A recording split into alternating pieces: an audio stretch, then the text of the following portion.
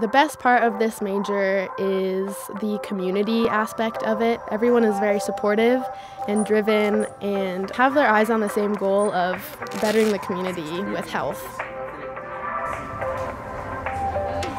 Nice, perfect. That was good, Les. I'm Minia Edgar. I am a senior graduating this May with Health and Exercise Science, Sports Medicine concentration.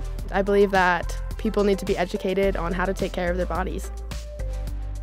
There are two tracks in the health and exercise science major a health promotion track, which really prepares people for careers uh, in the health and wellness industry, corporate fitness and wellness, etc., and a sports medicine track, which really prepares people for pre professional programs.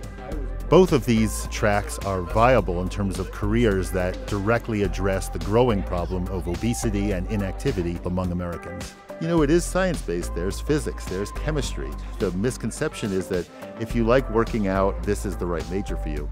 It might be, but you know, without that commitment to a rigorous science education, it doesn't always work out that well. I'm Steven Garcia. I am a fourth year senior health promotion, health and exercise science major. Through the health promotion side of my majors, got a lot of hands-on experience through that. It doesn't really feel like work to me, whether I'm sitting in a lecture or working in my lab, it's something I want to be doing. Health is just always something I've really been passionate about. It's not about being an athlete or being a fitness instructor or being a personal trainer. It's about being a health advocate, not only at the surface level, but also at the like deeper scientific levels.